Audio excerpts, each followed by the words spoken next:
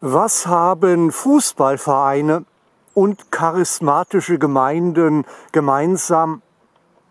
Ist das Thema dieses Videos. Fußballvereine und charismatische Gemeinden haben gemeinsam eine ganz starke, biblisch gesprochen, Fleischlichkeit.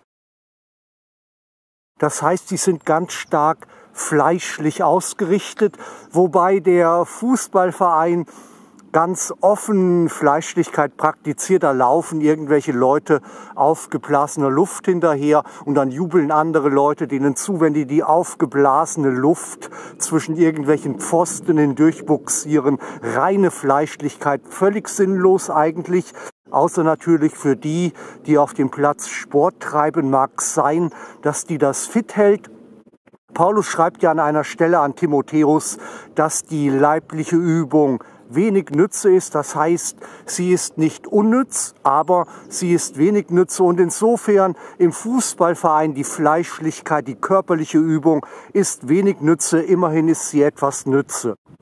In der charismatischen Gemeinde nun ist es so, dass da doch oft junge Menschen sind, die nicht klarkommen mit ihrer Fleischlichkeit und die das irgendwie in ihrem Gehirn umformen hin zu einer Pseudo-Geistlichkeit. Das heißt, die machen da fleischliche Sachen, die gar nichts mit dem Geist Gottes zu tun haben, sondern die machen da im Grunde ihr eigenes Ding.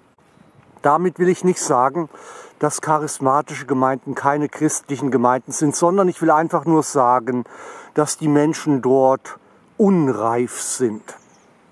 Denn der reife Christ hört auf die Stimme des Heiligen Geistes, die eine leise Stimme ist, die keine aufdringliche Stimme ist. Eine leise Stimme ist die Stimme des Heiligen Geistes und die wird allzu oft in charismatischen Gemeinden dann doch abgedeckelt, indem fleischlichen Begierden hinterhergelaufen wird mit lauter Musik und irgendwelchem Rummel aber auch mit Lehren, die das Fleisch befriedigen. Ich habe das schon vor längeren, es gibt da ein Muster, ich habe das in Deutschland erlebt, dass dann den Gemeindemitgliedern gesagt wird, ihr in Deutschland, ihr seid zu was Besonderem bestimmt, der Heilige Geist, Gott hat mit euch etwas Besonderes vor, da liegt ein Segen und ein Auftrag auf Deutschland. Und das Gleiche habe ich jetzt dieser Tage als ich einen österreichischen charismatischen Gottesdienst verfolgt habe, auch mitbekommen. Da wurde gesagt,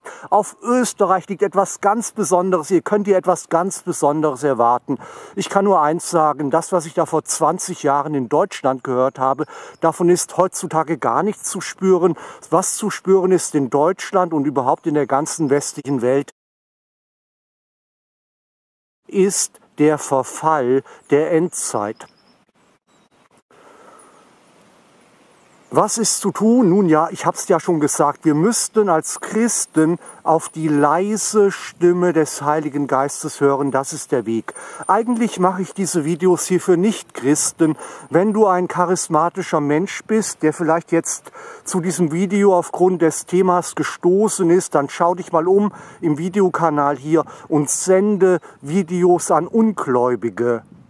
Es gäbe gar keine Gemeinde mehr, keine charismatische Gemeinde, aber auch keine, die treuer ist und auf die Stimme des Heiligen Geistes klarer hört, wenn nicht dieser eine Auftrag wäre, das Evangelium in der Welt zu verkündigen. Gemeinde ist dazu da, dass die Botschaft von Jesus Christus in der Welt zur Kenntnis genommen wird. Wenn Jesus Christus am Kreuz gestorben wäre und auferstanden wäre, er hätte seine Jünger entrücken können damals, diese relativ kleine Schar von einigen Tausend, die damals seine Anhänger waren. Er ist ja zum Beispiel 500 Brüdern, schreibt Paulus, erschienen nach der Auferstehung. Er hätte sie entrücken können, aber die Gemeinde hat einen Auftrag. Der Heilige Geist wurde Pfingsten gegeben, damit das, was Jesus Christus, Gottes Sohn von vor aller Zeit am Kreuz getan hat, in der Welt bekannt wird, sodass Menschen ihn, Jesus Christus, als Herrn und Retter annehmen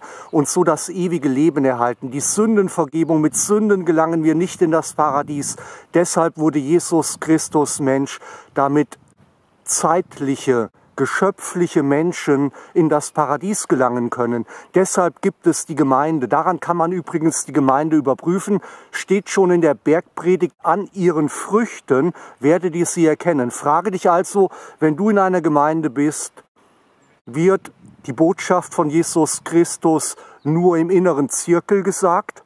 Oder wird der Auftrag, der letzte Auftrag, geht in die ganze Welt, verkündigt das Evangelium den Menschen draußen gesagt, den Ungläubigen, mit denen man echte Schwierigkeiten bekommen kann, weil die wollen nichts von Jesus Christus hören. Deren Führer ist der Teufel und deshalb gibt es die Schwierigkeiten und diesen Schwierigkeiten aber möchten sich viele Gemeinden oder Menschen in Gemeinden, Christen nicht aussetzen. Deshalb sagen sie das Evangelium nur untereinander so aber ist das nicht gemeint.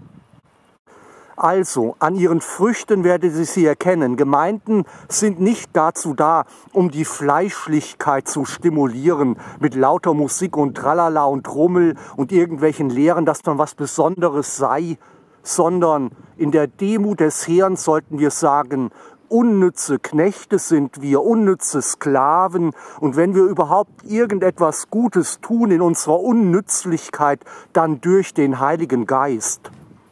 Sende ein Video aus dem Kanal an einen Ungläubigen, das ist dann schon mal eine gute Maßnahme. Hör dir die vielleicht an. Kannst mir auch Hinweise schicken, was ich besser machen kann oder wo Irrtümer vorliegen. Der Mensch ist ja ein Mensch, ich bin auch im Fleisch, Irrtümer können vorliegen. Danke, wenn du das tust.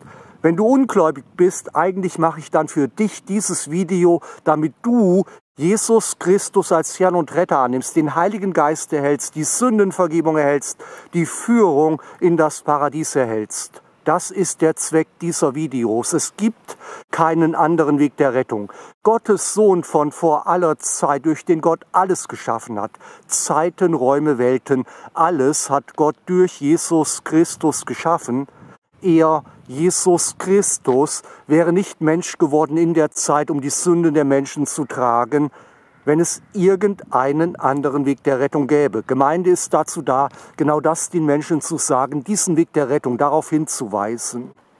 Tu das, wenn du Christ bist, wenn du kein Christ bist, dann entscheide dich hier auf der Stelle für Jesus Christus als deinen Herrn und Retter in einer echten, freien, kindlichen Herzensentscheidung und du wirst den Heiligen Geist erhalten. Du wirst Führung fruchtbar durch den Rest deiner Zeit erhalten, je nachdem, in welchem Maße du die Gaben des Heiligen Geistes annimmst. Am Ende geht es durch die Wand des Todes in das Totenreich Hades Sheol. Dort hast du den Totenschlaf, die Totenruhe. Ganz am Ende findet die Auferstehung statt und du als Kind Gottes, wenn du rechtzeitig in deiner Lebenszeit und sei es auf dem Sterbebett, in der Sterbensminute Jesus Christus als deinen Herrn und Retter angenommen hattest, stehst auf in einem weißen Gewand, in einem eigentümlichen Glanz. Und so wirst du an diesem letzten Tag, dem Tag der Auferstehung, durch das Endgericht hindurchgewunken, denn für dich als Kind Gottes ist da nichts mehr im Endgericht irgendwie abzuwarten an Urteil, Deine Sünden hängen am Kreuz, da ist nichts mehr abzuurteilen. Du wirst hindurchgewunken durch das Endgericht in das Paradies. Dort werde ich dich sehen spätestens und werde mich freuen. Gottes Segen. Amen.